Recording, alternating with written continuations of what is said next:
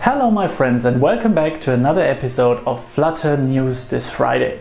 Today we have the topics, the results of the latest Flutter survey, pub.dev update, then we have also newest creations of Flutter Desktop and last but not least we have the package and the Flutter pen of the last two weeks. So we have a lot to talk about today, so sit back, relax, grab a cup of coffee and if you think we have also deserved a cup of coffee for our work, it would be fantastic if you could go down in the video description below to the link flutterexplained.live and could support our work. Thank you already in advance and now let's get started. Learning from Flutter Q2 survey. JaYoung Lee, a UX researcher at Google, announced in her latest Medium article the newest metrics of the Flutter Survey 2020 Q2. You can find the newest metrics like the Flutter adoptions for work, how the Flutter framework comes into the workplace, and interesting enough, it is mostly generated by a positive experience at home and translate into a work exploration. The Flutter satisfaction is at an all-time high with 57% very satisfied and there are some statistics how Flutter developers find their code samples. And he, the most people find their code samples in GitHub on Stack Overflow, but what we are very proud of is that 10% of Flutter developers find their code samples here on YouTube. Additionally, you can find newest statistic regarding to performance and last but not least, why packages are getting created.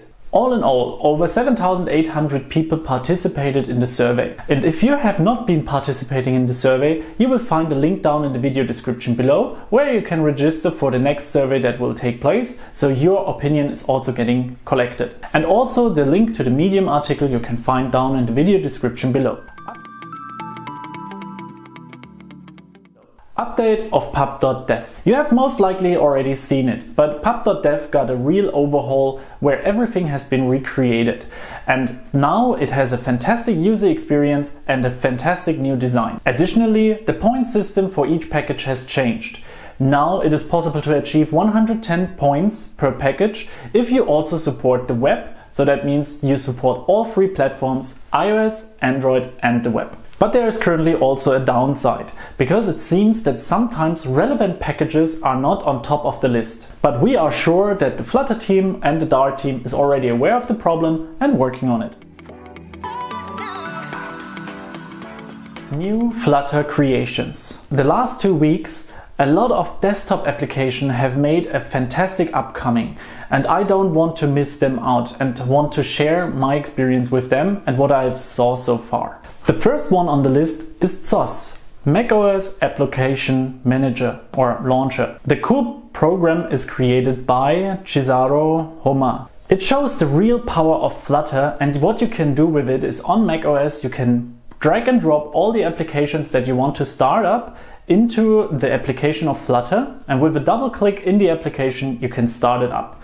The cool thing of it is it's open source MIT license, so if you want to learn something about it, you will find the links down in the video description below. Wilson Wilson created a mesmerizing redesign of YouTube for desktop applications and made it available in Flutter Desktop so the best thing is, again, it is completely open source and if you want to learn something, down in the video description you will find the link to the result. The Twitter desktop redesign. Eleandro Duzentos created this fantastic Twitter redesign in a desktop variant and also here it is completely open source. You can learn a lot from it, so you find down in the video description the link.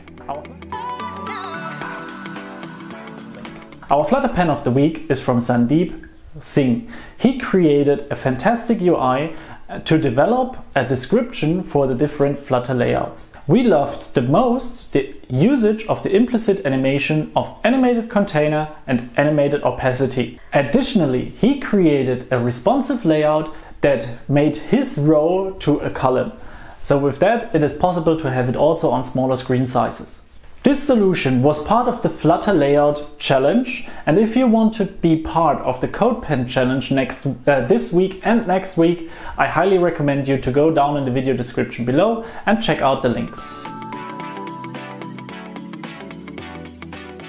Auto Search. The auto search package delivers you the possibility to make every text form field to a search field.